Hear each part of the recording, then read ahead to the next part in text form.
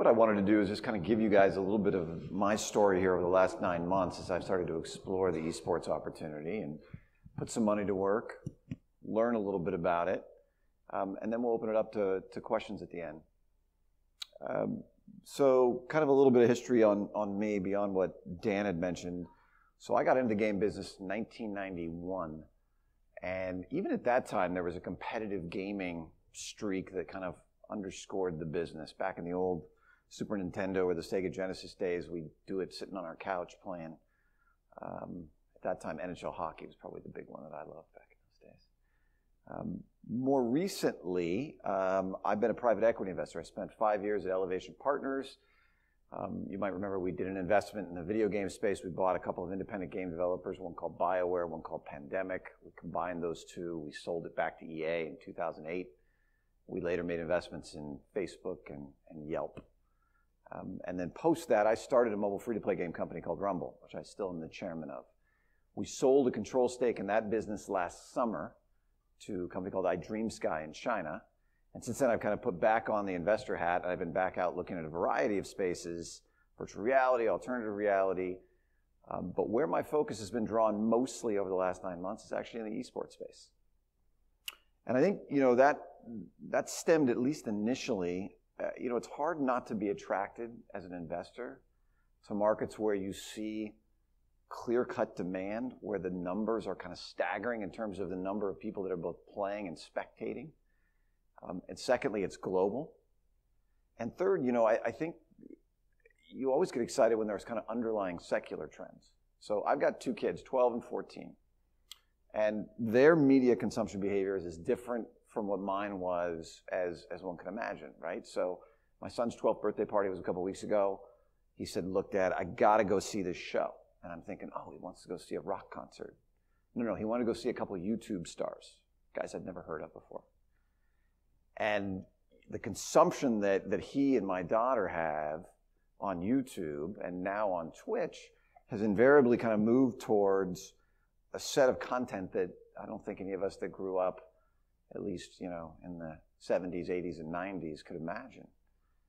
And I think that underscores the fact that every generation that comes along now is spending more and more time in different places consuming different kinds of media. And the one thing that's a constant is they're playing a lot of games. And when they're not playing games, they're on YouTube watching videos about it, whether it's Minecraft or, or otherwise. And that kind of underlying secular trend just tells me that you're going to see more and more eyeballs, more and more people, more and more money being spent by people consuming things much like what esports is starting to become. So, um, as I kind of started to kick this off, I was thinking back to wh- where it got started. And at least for me, my memory is it was the late 90s in Korea. So Blizzard let StarCraft launch. It's a big hit. But in Korea, because of the PC Bang cafes, it, becomes a phenomenon. And folks within those cafes start to play the game and invariably want to find out who's the best player in the cafe. And once they've identified that person, it strikes them, geez, I wonder if our champion is better than the guy who's playing at the PC Bang across town. So they arrange a match. And pretty soon it becomes regional and then it becomes national. And it makes the fundamental transition from a game to a sport. And for me, that definition is about not whether it's really great competition and whether skill matters, but rather, do people actually want to watch people who are really good at it play? A sport is something that's more than the game, it's entertainment. It's about that entertainment value. So that was, you know, what, nearly 20 years ago. And, you know, kind of put my head down and haven't been focused on how it's evolved since then. But you wake up today and you see some pretty interesting numbers. So last year, with the League of Legends World Championship, more people watched that concurrently than watched the college football BCS championship game on television. It's a pretty big number 33 million people. And if you just think that's League of Legends, think again. So Dota 2 at the International, which is their big major, they had 20 million spectators. That's bigger than anybody, any single game in the NBA Finals last year. So already the notion of competitive gaming attracting people who see it as entertainment has reached a threshold that's somewhat similar to what we're seeing in, in real world sports. Secondly, I think you've got, um, you know, you've got this large audience that's not only engaged based on those numbers I gave you, but if you look at the amount of time they're spending watching their favorite game, it's about an order of magnitude for people that watch their favorite sport. So the total number of time being spent by one of these fans, you know, transcends what you're seeing in the, in the regular sports world. And look, you know, I think as um, people have realized that these large spectating audiences are out there, a business has started to get built around it. So all of which compelled me to kind of put my head down and look into it. So in the last nine months, I've, I've invested in a couple of media technology companies, and I just signed a letter of intent to buy a Team. And knock on wood, we, we close on that in August. So obviously, I've been bullish on the space. Having said that, and despite some of the amazing trend lines and the big numbers I just shared with you, there's some pretty fundamental challenges to esports from the perspective of being an investor.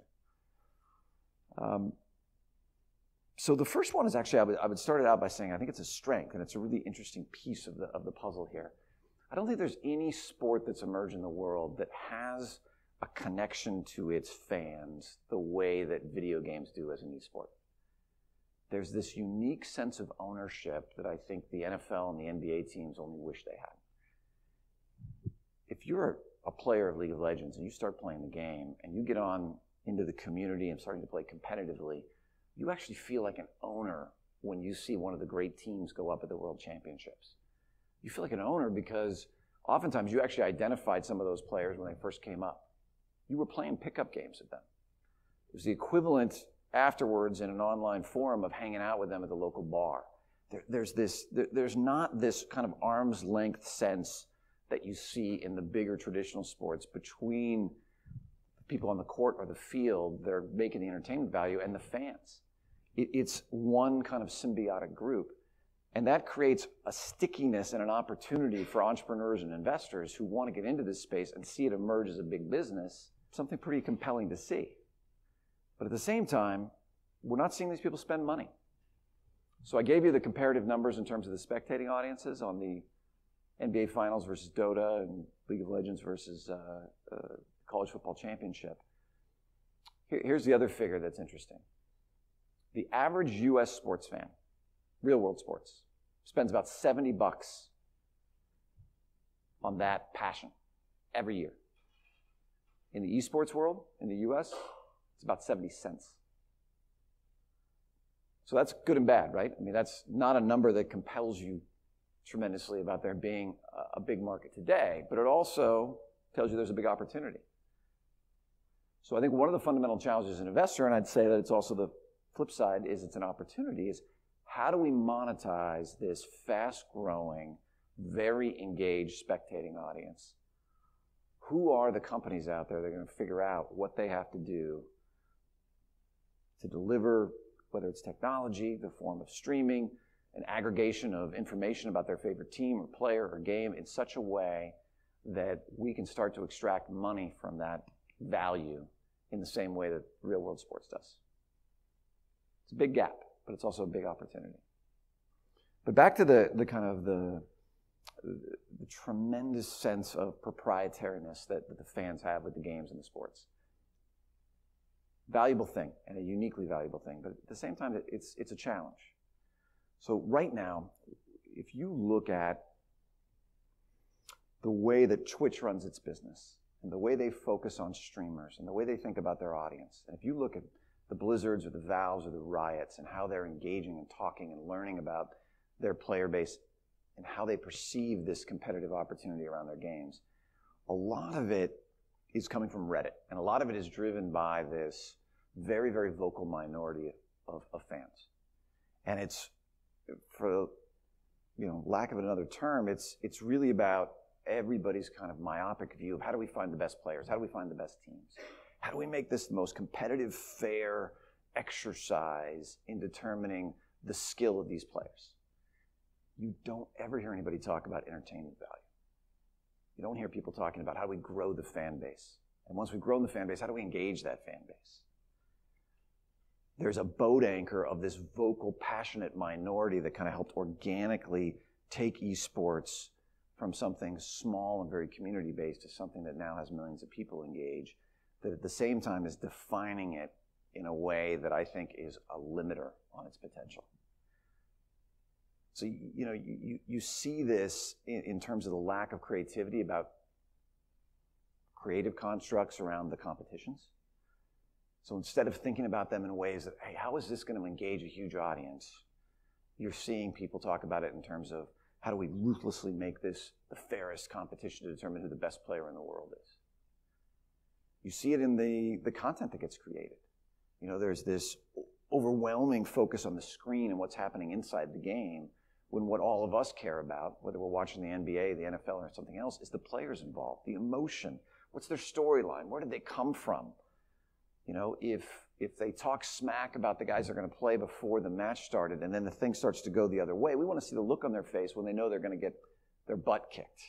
Instead, the camera myopically shows you the pixels and the flying, you know, VFX as the game goes on. It's it may reward and scratch the itch for that very, very passionate, hardcore fan, but it's never going to turn this into a broad based mass market entertainment medium that's investable against.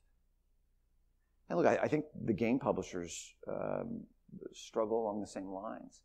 And by the way, this is nothing new in the video game business. I mean, 20 years ago, I bought a PC role playing game company. Um, at the time, was probably number one or number two in the entire industry. And this was just about the time that the internet had emerged, but before browsers. So there was, you know, CompuServe and AOL had just come along, and you actually could hear and talk to your audience for the first time. And the developers absolutely fell in love with this loop. And so it turned out that the hardest core players of this RPG franchise were giving the most feedback. And of course, what did they want? They wanted the game to be more complex. They wanted more sophisticated features against the things they had already played.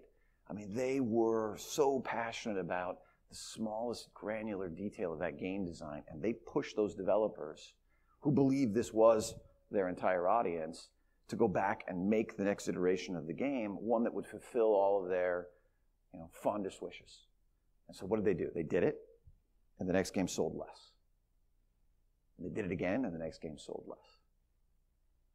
You know, we, we are a business that oftentimes can cater not only to the people that are making the games, who tend to be hardcore gamers themselves, but, but also the, the very, very vocal minority. And we lose sight of, hey, there's a bunch of other people that love to have played this game, but they didn't understand it, it wasn't accessible or whatever. That same lesson applies to esports today. So think about it this way. You know, when, when somebody walks into, well, even as a young kid, when you're learning about sports and your dad's got the television on, there's a football game or a basketball game, without asking, you can pick up and figure out the rules pretty quickly. You turn on a League of Legends match and you walk in and you've never played the game, it's pretty overwhelming. And your sense of what's going on and getting context is pretty tough. The game itself is difficult. Secondly, because I talked about it before, they're not really talking about the players, the narratives, there's really no education going on. Really hard to come to grips with what you're seeing. Therefore, the spectating audiences are in large part limited to the player bases of each of the games. That's got to change. And by the way, that, that is an opportunity as an investor. How do we, again, find companies and people have a vision and say, hey, this could be mass market entertainment? And we're seeing games that are simpler to understand. I mean, one of the companies I work with is Supercell. And with Clash Royale, they've got a real time PvP game on mobile. So there's 3 billion people in the world that could play it. It's incredibly easy to understand, yet it's competitive and interesting enough to want to know who's the best in the world at it. There's a chance there to do something really, really interesting in a way that hasn't been done before. And hopefully, not only continue to broaden the size of the market, but shrink that gap between the 70 cents a year that esports fans are spending and the $70 that real world sports fans are spending. I think the second mitigant and, and the the second reason you see maybe less investment in the space to date than you might imagine, given the big metrics and what seems to be secular wins that are only going to make this market bigger, is the fact that the IP that underscores the game is owned by a game publisher. So obviously vastly different than the world of basketball, football, or soccer where no one owns the underlying intellectual property. But in this case, you've got multi-billion dollar market cap companies who are in a very different business than the esports. They either sell their games at retail for 50 or 60 bucks, or they're free to play with in-app purchase, building billion-dollar businesses behind this intellectual property. And in the game business, if you own that IP, you want to control it. And secondly, if there's a new opportunity to do something different with it, you want to be the one to do it. You don't want to let somebody else do it. So over these first, let's call it, you know, uh, three innings of the esports market, it has grown way slower than the demand from the players or the fans, principally because the game publishers have softened that growth. They, they've wanted to look at this as an extension of their own marketing. Hey, this is great. There's this competitive esport thing that our players started doing. That's going to keep them engaged. That's going to allow us to build a robust community. We might even get some viral marketing out of it. It's beautiful. But because they believe either they can take advantage of how that esport has to emerge as a league, as competitive structures, as an organization of teams, as the broadcasters, and they want to have their finger on that at every step of the way, they fundamentally slowed the growth.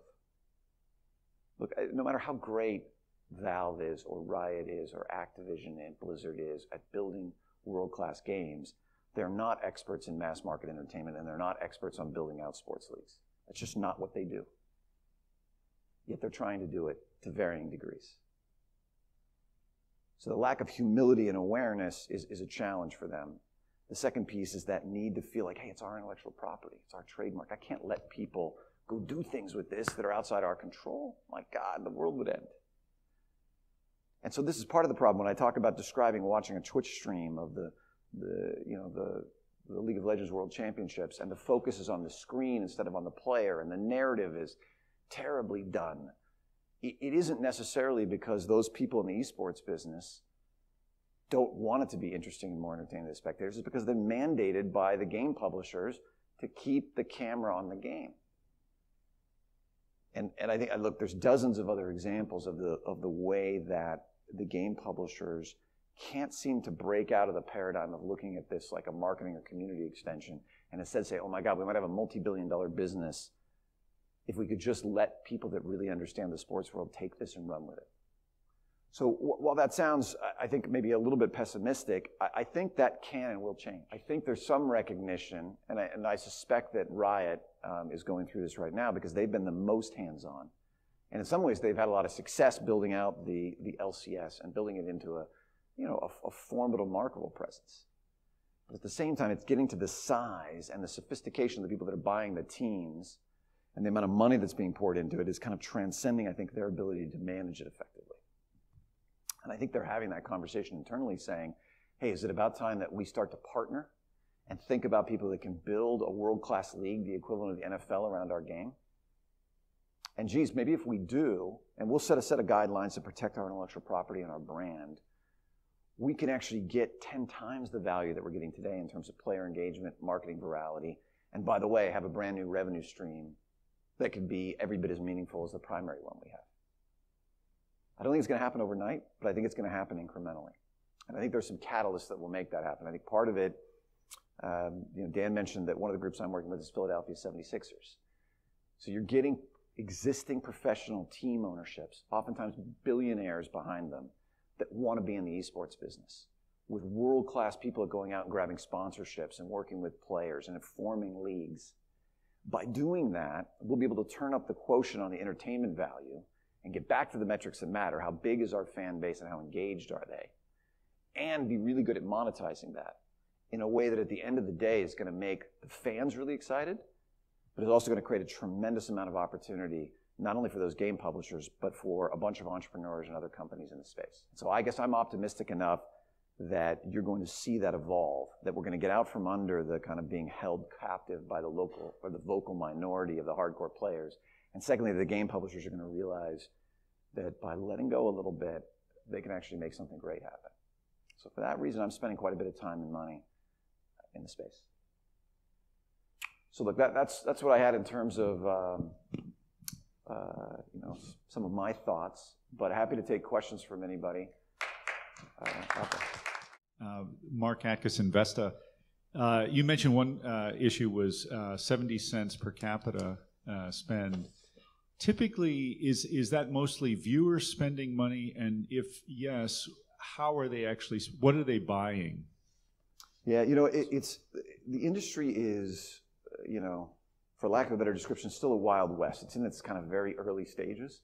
So even the data that you can get and collect isn't particularly very accurate. So I think the number you see quoted about the total size of the market is about $750 million last year. Um, but of course, you know, I talked to Twitch, which is right now the, the media 800 pound gorilla in this space. And, you know, they believe the estimate of their revenue as part of that 750 million was exaggerated by several multiples. There is some money coming there, and I think Twitch is getting incrementally better at figuring out how to monetize the, the eyeballs that are seeing it. But you're seeing a lot of money from merchandising. You're starting to see the game publishers play around with in-app purchase, where you can go back and, and get the config of your favorite player or the skin of your favorite team. Uh, you see some money coming from events. And ticket sales are, are pretty small. The growth area is in sponsorships, right? So if you can imagine the advertising world looking and saying, oh my God, the hardest to reach demographic in the world is spending literally billions of minutes every month spectating on esports. How do I get my brands in front of those people? And again, I think that's a big opportunity uh, in the space once people can effectively package and market to those sponsors in a way that they're used to being sold to. I'm curious, when you buy an esports team, what exactly are you buying? Yeah, um, it's, it's a great question. I mean, I think there's, there's kind of three things today that make that up, and I'll go in, I think, ascending order of importance, at least from my perspective. Today, people think they're buying a slot in the LCS um, because that costs money, and it has real material value in the way that Riot monetizes and exposes those teams. Um, the, the second piece that you're buying is the fan base that's already been accrued. So there's um, a lot of folks, whether it's on social media or whether it's through Twitch, who are fans of these teams and they care deeply about it. And if you buy a brand that has a large fan following, that has intrinsic value. And then lastly, and most importantly, it's the people involved. Look, I mean, it's, it's all well and good for somebody like me that's been in this space broadly to come in and say, hey, I think there's a bunch of value that can be provided in addition to capital if you let me be an owner of your team.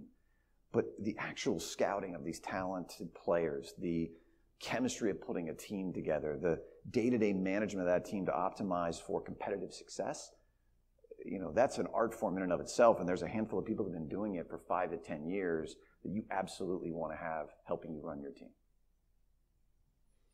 Thank you so much. Great question, Greg. Very good.